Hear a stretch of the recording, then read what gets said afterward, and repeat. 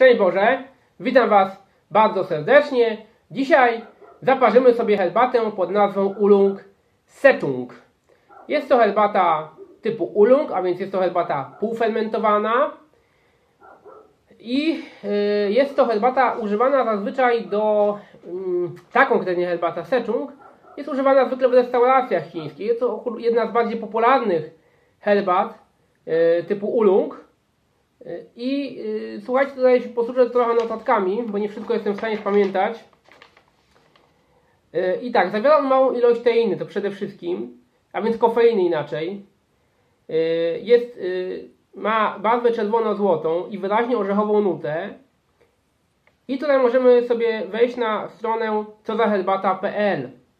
Następnie y, ma delikatny smak, i on jest bardziej delikatny od innych ulongów, prawda? I pochodzi z prowincji Fujian.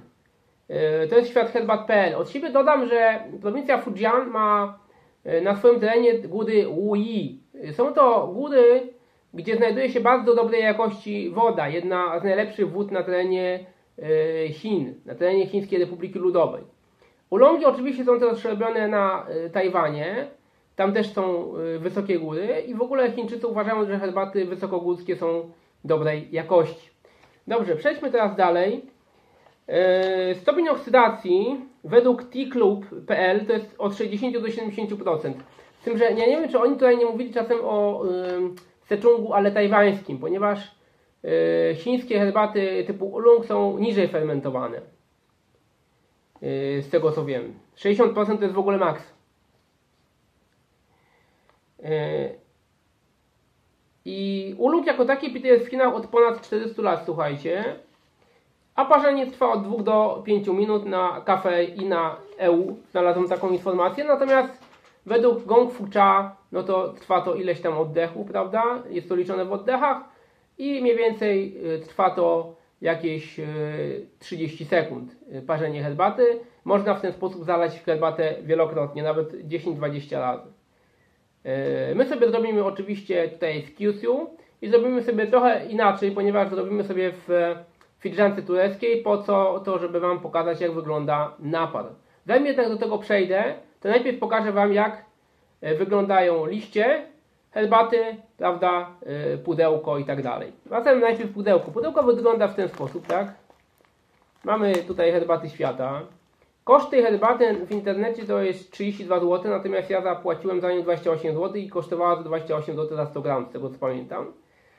E, w tym sklepie także troszeczkę niżej. E, troszkę niższa cena. Tak? Jest to dość popularny ulung, jak już mówiłem. Dobrze, teraz wygląd liści, ale rozwinięty już. To jest dosłownie, słuchajcie, kilka łyżek. Przepraszam, nie kilka łyżek, tylko jest półtorej łyżeczki. Zatem to jest mało, prawda? Półtorej łyżeczki, a jak się rozwija? Skąd nazwa czarny smok? Bo herbata ta wygląda tak jakby to były ogony smoka. Dobrze. A to z kolei jest herbata Ulung Tepung, ale już jeszcze nie rozwinięta. Prawda? Tak wygląda w ten sposób.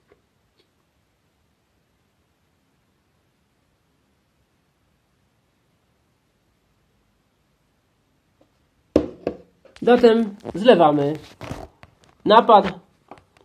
Po zlaniu oczywiście Wam powiem też o zapachu tej herbaty.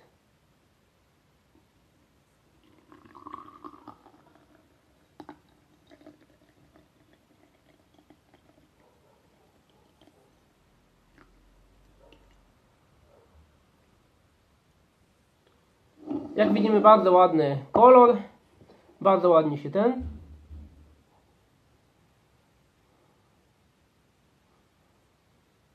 Zapach tej herbaty taki orzechowy, yy, dosyć yy, mocno takich świeżych orzechów bym to tutaj w ten sposób określił. Dobrze, zatem próbujemy. Filiżankę turecką zawsze trzymamy tutaj, za kołnierz, ponieważ tu jest ciepłe i, prawda, nie, żebyśmy sobie nie poważyli palców.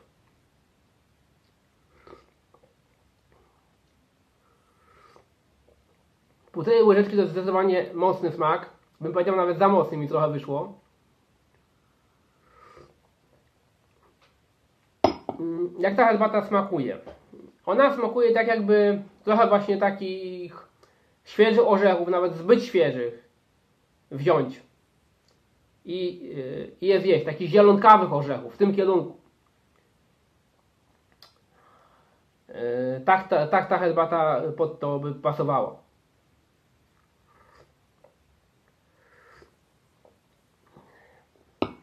Do czego ta herbata pasuje?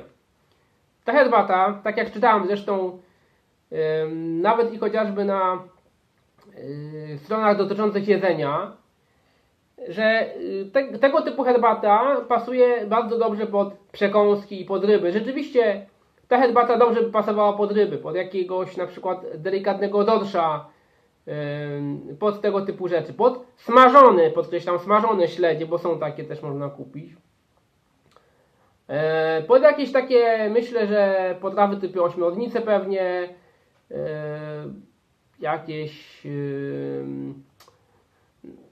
tutaj krewetki, coś takiego. Krewetki jadłem, ośmiornic nie, natomiast mogę się domyślić jak smakuje ośmiornica.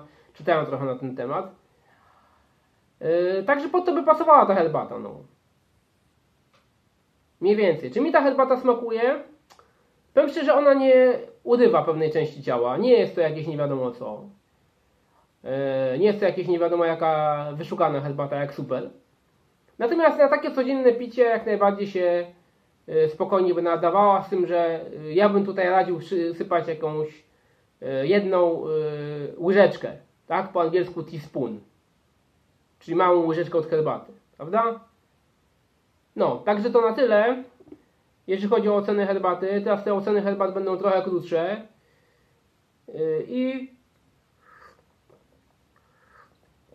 Szczęść Boże, do zobaczenia. Poczęstujcie babci tą herbatą. Natomiast nie wiem, czy babcia będzie do końca zadowolona. No, jest to dobra herbata, ale no, nie udywa pewnej części ciała, prawda? Także szczęść Boże, z Panem Bogiem, trzymajcie się i mam nadzieję, że będę niedługo oceniał herbatę, która urywa to, co człowiek ma w tyle. Szczęść Boże.